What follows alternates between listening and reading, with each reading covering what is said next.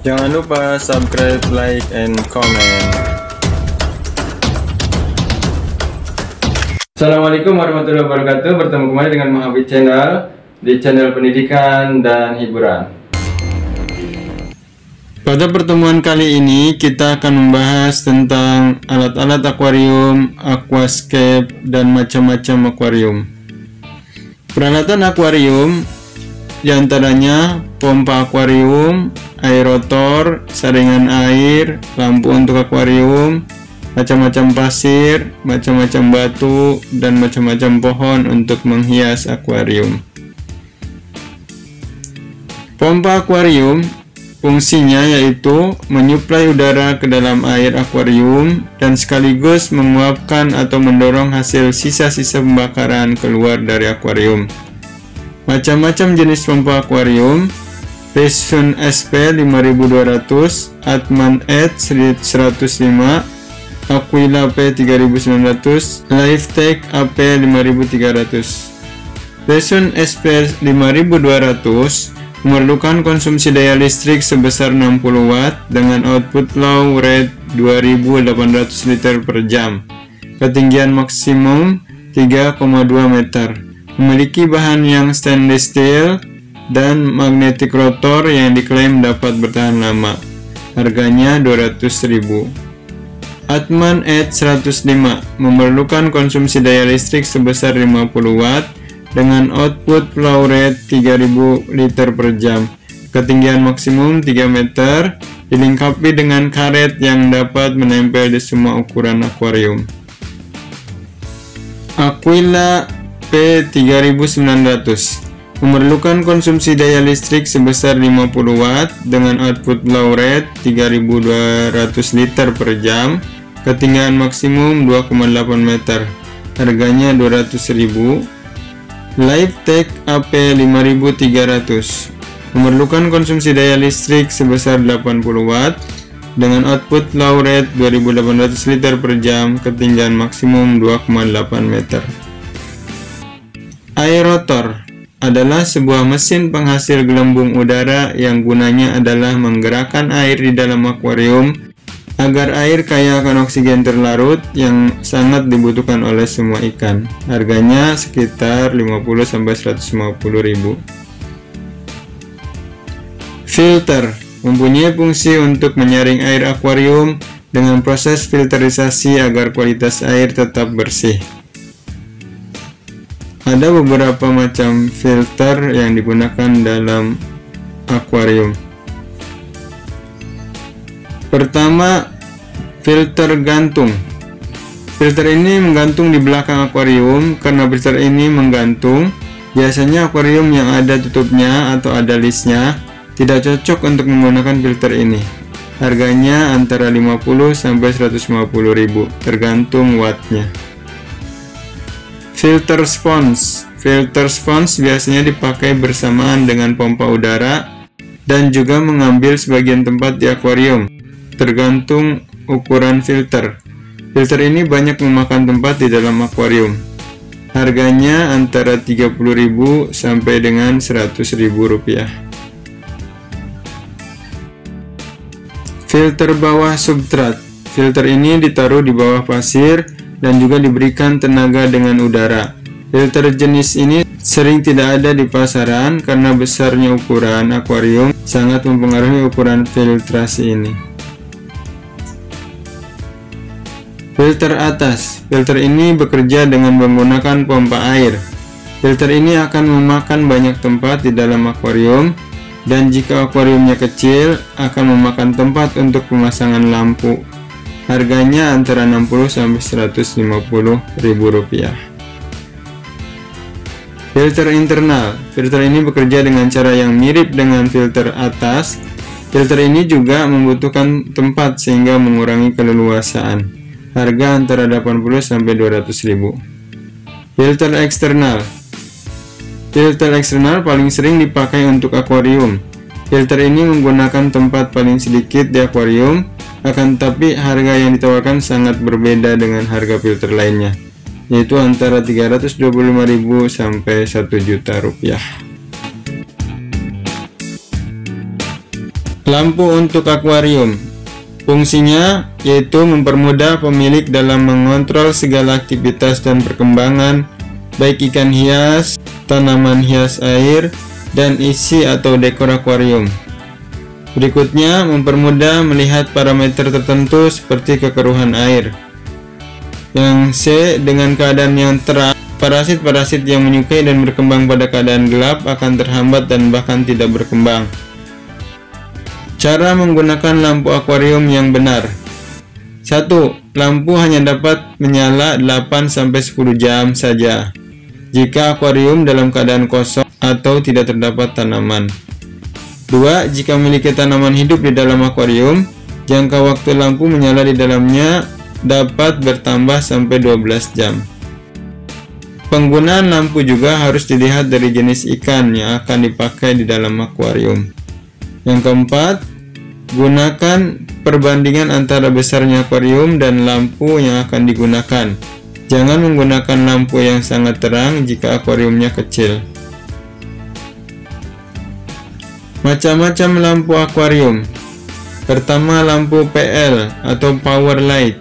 Jenis lampu ini mempunyai ukuran lebih kecil, namun ternyata mempunyai tingkat lumens yang lebih tinggi dibandingkan dengan lampu TL, sehingga dapat memasang lebih banyak lampu untuk akuarium. Sehingga lampu jenis ini cocok untuk ukuran standar lampu antara 18 sampai 36 watt. Harganya Rp130.000. Lampu tubular lamp atau TL. Lampu ini merupakan jenis lampu yang paling banyak digunakan untuk aquascapes dengan model silinder memanjang dapat memberikan keuntungan penyebaran cahaya secara merata ke seluruh sudut akuarium. Namun, lampu ini mempunyai ukuran yang cukup besar, sehingga banyak memakan ruang atas akuarium. Ukuran umum lampu 18 36 watt dengan harga 30 150 ribu. Lampu dalam air atau disebut juga lampu sorot dalam air pond lighting harganya antara 175.000 sampai 510.000 rupiah macam-macam batu yang digunakan dalam akuarium pertama batu fosil. Sering disebut juga dengan batu petrified stone. Batu fosil ini merupakan batu yang berasal dari kayu yang sudah membatu. Batu ini umumnya memiliki bentuk lumayan panjang. Selain itu, terdapat juga urat kayu pada batu tersebut, dan urat kayu itu juga sudah membatu. Batu fosil ini menjadi alternatif yang tepat dalam pembuatan aquascape, serta aman dan tidak berbahaya bagi makhluk hidup lainnya. Harganya 12.500 per kilogram. Yang kedua, batu gobi atau batu susun merupakan salah satu bentuk batuan yang unik Batu ini terkikis oleh air secara terus-menerus sehingga menimbulkan guratan seperti lereng dari gurun pasir. Harganya 20.000 per kilogram. Ketiga, Golden Stone merupakan tren terbaru untuk aquascape berbeda dengan batu gamping. Golden Stone tidak merubah parameter air. Ditambang berdekatan dengan batu bara di daerah Kalimantan. Harganya 35.000 per kilogram. 4. Serpentinite Stone merupakan batu yang sangat disukai oleh para aquascapers. Satu, karena warnanya yang natural dengan warna hitam dan corak hijau putih. Yang kedua, bentuknya sangat artistik. Serpentinite stone tidak merubah parameter air. Ditambang dari daerah Kalimantan, harganya 20.000 per kilogram. 5 Punjan Stone atau yang lebih dikenal dengan batu pasir memiliki karakteristik yang sangat unik dan bentuk yang sangat natural sangat cocok untuk digunakan sebagai bentuk gunung ataupun bukit. Batu pasir sedikit merubah parameter air harganya 15.000 per kilogram. Macam-macam pasir untuk akuarium. Pertama pasir silika. Sangat cocok digunakan dalam aquascape selain warnanya yang putih dan mudah dibersihkan Silika bersifat inert dan tidak merubah parameter air. Rekomendasi penggunaan untuk ukuran 60 x 40 x 40 cm itu sekitar 50 kg sampai 15 kg.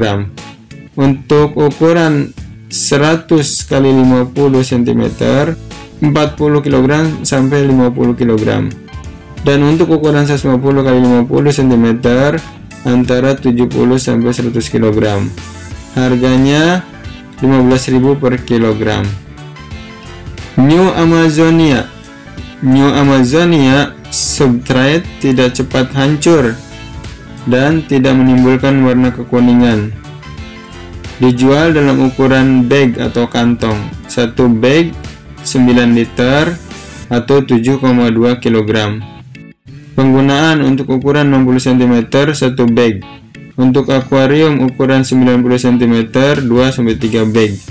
Untuk akuarium ukuran 120 cm 4 sampai 5 bag. Harga 120.000 per bag atau per kantong. Pasir Malang. Pasir ini adalah pasir yang terbentuk dekat dengan area erupsi gunung berapi. Pasir Holland, pasir Holland ini berwarna hitam sama halnya seperti pasir Malang.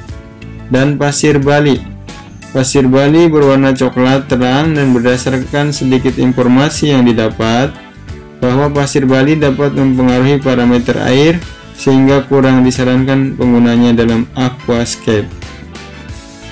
Macam-macam pohon untuk akuarium. Pertama, nama spesies Rotala marchandra asal dari India, tingkat pertumbuhan cepat, kebutuhan cahaya tinggi harga 15.000 per 25 batang.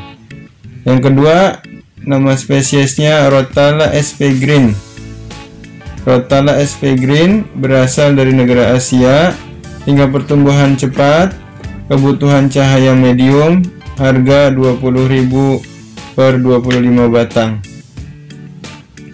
Nomor 3 Bolbitis hedolotil atau African Orcongophone berasal dari Afrika tingkat pertumbuhan slow atau lambat kebutuhan cahaya lambat sampai dengan tinggi harga 50.000 per cup.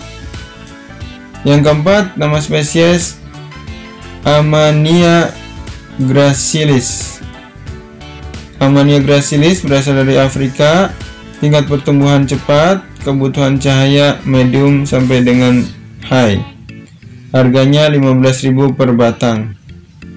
Yang kelima yaitu hidrokotil tripartita. Berasal dari Amerika, tingkat pertumbuhan moderat, kebutuhan cahaya tinggi, harga 25.000 per 20 batang. Yang keenam, Eric Moss, harganya 100.000 per cup dan masih banyak lagi tumbuhan untuk menghias akuarium. Macam-macam akuarium. Yang pertama akuarium raksasa, yaitu akuarium yang sangat besar dengan ukuran raksasa yang membutuhkan kaca dan air yang sangat banyak. Yang kedua, akuarium standar atau full set, yaitu akuarium yang berbentuk segi empat, biasa terbuat dari kaca. Yang ketiga, akuarium akrilik. Akuarium yang terbuat dari bahan akrilik bukan dari bahan kaca. Yang keempat, akuarium fish in space, yaitu akuarium yang bentuknya seperti luar angkasa. Yang kelima, wall aquascape aquarium atau aquarium wall, yaitu akuarium yang berbentuk seperti dinding. Yang keenam, akuarium coffee table, yaitu akuarium yang berbentuk meja yang bisa digunakan sebagai meja. Demikianlah pembahasan kita kali ini, semoga bermanfaat. Assalamualaikum warahmatullahi wabarakatuh.